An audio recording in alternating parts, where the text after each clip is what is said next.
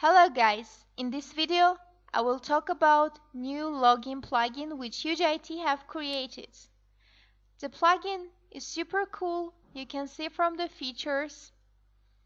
Right now let's make sure of it. Plugin has free and pro versions. To install the free version, click on download button, it will redirect to WordPress login plugin page. Click on this button, the file will start downloading into your computer and you clicking on add new upload plugin may upload that zip file here. Or other way just search login in the WordPress plugins directory and find this one with the label. Click on install and then activate button. Proversion has some options limitations so right now we'll install Proversion and show what kind of features does it have. It gives you reCAPTCHA custom login menu, style and design options. To get the pro version, click on any of these buttons, purchase it, and the file will also automatically download it into your computer and in the same way you need to upload it here. After you did that, the plugin will ask to activate and appear on this toolbar. To start the work with login plugin, click on dashboard. Let's say dashboard part is the final part. When you have designed your button, you need to take the shortcodes for login button and sign up button. This small shortcode will add the simple login button with default settings. Let's check. Go to your post or page, paste the shortcode update and in order to check how it looks you need to open your site in incognito browser. Here you go, sign up button with the default settings. But you can notice that the plugin also allows to use this one. Copy and paste the shortcodes to change the following attributes, text and show menu. If you edit this text, here is the button with another text in it. So, the same way we do with the sign up button.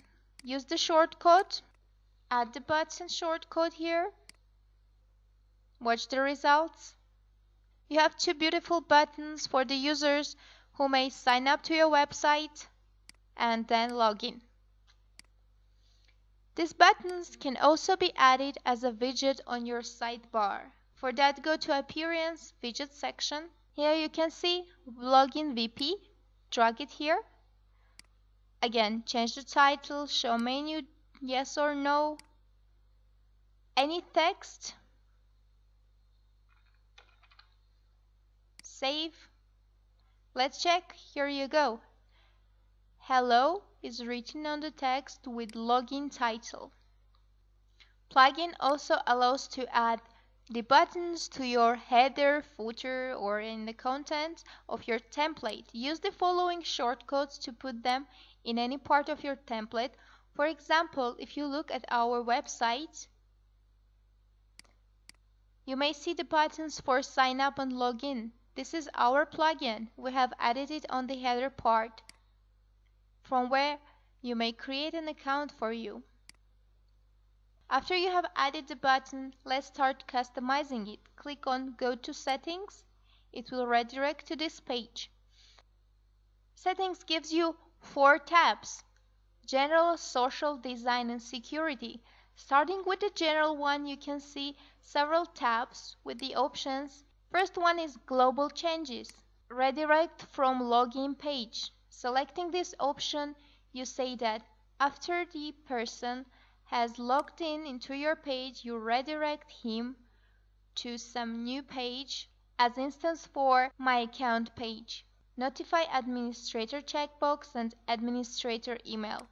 Here you write your email and every time you get a new sign up, you see it in your emails. As soon as a new user sign up to your website, he'll get a verification on his email and the text of the verification message can be changed from this place. Redirect to after sign up. Once a user clicked on sign up button, fill the information, email, password, he can be redirected to any page. For example, it can be the same home page. Right now it's the same home page, so nothing happened. Redirect to after login. When the person logs in,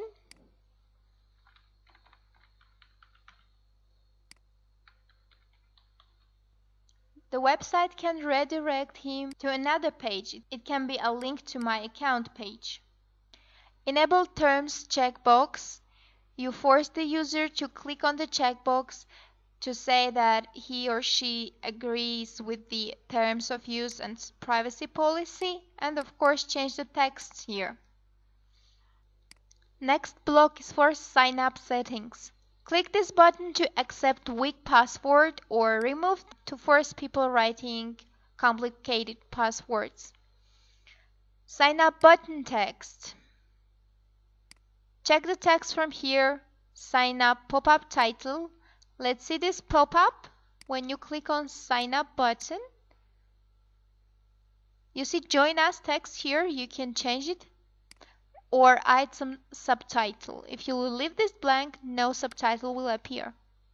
Login button settings. The text on the login button. The same pop-up title on the login and subtitle. Forgot password pop-up. When the user clicks on Forgot password button, it opens a new pop-up with this text. You can change it. And account options. As soon as the login has been done, you can see your account with the following links to my account page and logout link. So the settings allows you to change the title, and the links. Also click add new item to add something new. It may be my purchases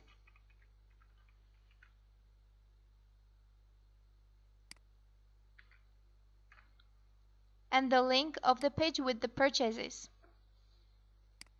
Save settings and let's see. Here you go, a new link. Next block is social. This block allows to sign in and sign up using Facebook account. By collecting the information from Facebook account, it can save the time for your users to register or log in.